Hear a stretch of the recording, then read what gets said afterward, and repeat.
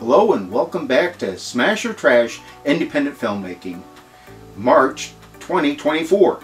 I'm Robert Long, who runs the website as well as these videos that are being put on here. So it's been a while since anything has been uh, put together for you kind folks. Uh, before I get started, I want to say that um, I am really getting back to, into the thick of things. There's going to be a lot more reviews and interviews. This one's a how-to, uh, so these are going to be going up. And um, uh, so I've also got a GoFundMe, which should be listed below in the links, uh, going on uh, to become executive producers. If you if you donate something towards me to uh, help keep things running along, and uh, you get an executive producer for all the rest of 2024 uh, for helping me out on the website as well as uh, th these videos. But enough about that. Uh, I've got a new set background for Smash or Trash and I'm uh, really happy with how it turned out. And um, the inspiration is from movies that we've all seen and all loved, probably from sci-fi movies such as Star Wars and Alien, and to a lesser extent, uh, the TV show Mystery Science Theater 3000. It's got that mechanical, complicated, geometric look to it, which I love. Um, so I had actually, this was three panels at one time. I've condensed it down into one. Um, and it's here in my living room. It sits above my couch. And uh, it, it still needs some work done to it, but we'll talk about that. But I'm going to tell you about how you can do something like this for your movies. And it's really not as bad, it's really not as complicated as you might think it is. So the first thing I started off with is I needed big pieces of cardboard uh, to lay this out on. So what I did is where I work we get uh, we get fixtures in very large boxes so I was able to cut them down uh, take them in my car and bring them home here. Now this is about two uh, pieces of cardboard or three thick and the biggest things you're going to need besides a cutting knife uh, your biggest friends are going to be a drill as well as a hot glue gun. What I did was I started out with, um, this is probably a three, three by six, three by seven piece of cardboard when all said and done. And uh, I, what it is, is it's three pieces of the cardboard basically hot glued together. So it's got some stability. Um, what I did after that is there's a technique that was brought about uh, back way back in the 76 77 when they were doing uh, Star Wars where people would collect uh, what would be known as nurnies or greebies uh, however you want to pronounce them. But it's basically odd modeling parts odd pieces of plastic that could be all super glued together to create interesting things like the spaceships or the uh, the Death Star trench. So I have been collecting for a very long time. I've got about three boxes of caps and and containers uh, and different little bottles that I'm able to cut apart and reglue together in a configuration that looks nice and complicated. And so, I mean, here, here's a sample. You know, I mean, I've got just in this right here, I've got just a few different plastic pieces. It's just what you can save up. You know, if you're living with somebody, try to keep it neat so they're not, uh, you know, you're not driving them crazy by having this stuff all over the place. But yeah, you can start putting together interesting little uh, sidebar uh, control panels and stuff. This right here, uh, I mean, this is all stuff that I've just found over the last few years. This is a handle, this is uh, part of a pin, and this is a uh, pill bottle. And what it's going to become is a lever. once I build that into an actual piece of the prop. Once I got the cardboard laid down, I had to start getting the greebies laid out, the nurnies, because before I paint anything, uh, this is all going to be glued down. What I started to do is I started to lay out some of the different pieces that I had collected all this time until I got something that I really liked. I mean, this right here, the what looks like vents and pieces of machinery, these are uh, cookie boxes from this uh, the supermarket, just plastic cookie boxes, and uh, these are uh, these are Easter chocolate crosses. Um, uh, you know, paint can tops. Uh, we've got uh, some uh, laundry detergent tops. I mean, it's just what, uh, right behind me here is a squirt gun. So it all comes down to making it look interesting and and uh, maybe starting to develop some patterns. So that all started being glued, hot glued down, which works pretty well. Uh, but you do have to make sure that it's pressed down tight and uh, it, it, it sets. As it is, this has been moved many times. I have to do it myself. Uh, so it does get knocked around a little bit. It could probably use a little bit of repair uh, at this moment. So that just means getting back in with some hot glue.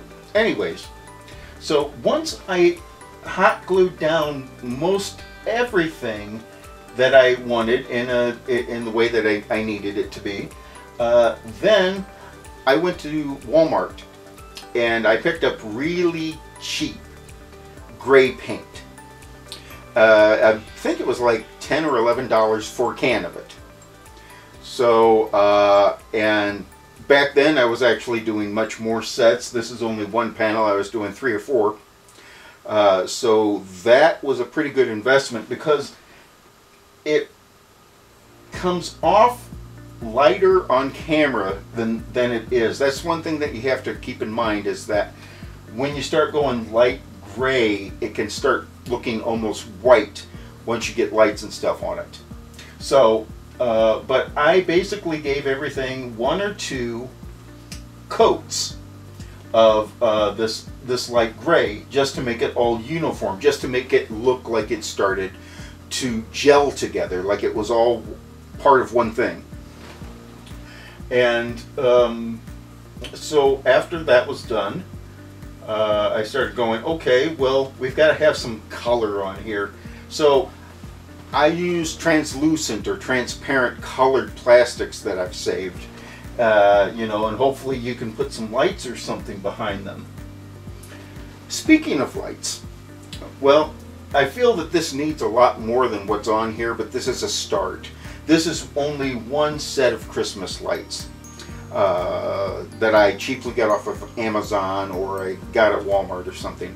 And between you and me, yeah, I want them blinking. I think the blinking bulb is actually on the back of this panel, so I have to take this off, put the blinking bulb in, so it, it can start going. But as you can see, it could use at least three times what you're seeing here, but this is a good start. And what it, what's done is, again, very carefully, I basically found out how much space was in between each light on the string. And I started looking it over and with a drill, I started drilling in uh, spots at even intervals where I was going to put the light in. Once that was done, I used the hot glue gun on the back and just carefully kind of glued the lights on the back of this in place so they wouldn't fall out. Uh, and I also had to make sure of which way the plug was going to be uh, facing because it's got to it's got to get to an outlet. So uh, it, the outlet is on this side plugged into uh, an extension cord and into the wall. So we got some lights in there. We got some beautiful colored lights in there. Something else that needed to be thought of is that if I this is going to be used for a mad laboratory or if this is going to be used for the site of a spaceship cockpit or something, you want some screens going on. So I've got two or three places here where I have painted uh, areas to be kind of like green screen green. Now, truth be told, um, it's a little uneven, so I'm going to go back over it one of these days soon to uh, to repaint something a little bit more even on all of those surfaces so that it, it keys out better and I can get actual screen screens back there. Once that was done, you know, it's almost it's all coming together pretty quickly. Um, how I had to put this, I mean, you know, I'm, I'm doing this alone, so how I had to get this up on the wall is I had to get a card table out and basically lean this up on on the edge of the card table so that I could push it back and and get the screwdriver tip of the um, the uh, the drill to basically screw it in two or three places into the wall at the top and a couple places at the bottom because I didn't want to I didn't want to deal with nailing. I mean, I want something that's going to be somewhat easy to take down if I need it to be. And uh, so, you know, I can just do that. And, you know, once I got that up and I got the uh, thing plugged in in there, and uh, now I've got a mad scientist background that I can use for these videos. Or I will let my friends in the area, my local uh, filmmakers, uh, come by and use it if they want to. Now, something that uh, has to be said is nothing on here is a working piece of a prop. In other words, it's all for looks. None of the button, there's no buttons that work. There's nothing gets pushed in. Nothing can be turned on. Uh, so that has to be uh, kept in mind that if you want to do something like that, you're going to have to think ahead. Uh, I had done a lot of thought on this, but it's not like I had a diagram.